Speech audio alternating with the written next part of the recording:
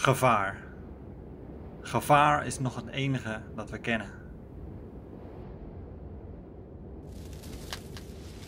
We zaten thuis. Al waren de nieuwsberichten duister en grim, de gevechten en de ziektes waar ze over spraken voelden alsnog ver weg. We voelden ons veilig in onze warme huizen met dikke muren, tot de stroom uitviel. Nu zijn we niet meer thuis. De grenzen van steden, provincies en landen zijn verdwenen als sneeuw voor de zon. Elke dag twijfelen we of we de volgende zullen gaan halen. Sommigen van ons proberen iets nieuws op te bouwen met niks. Maatschappij, een gemeenschap. Anderen proberen alles af te pakken. Eten, je spullen, je leven. We hebben geprobeerd te vluchten, te schuilen en te vechten. Maar uiteindelijk kwam het op één ding neer.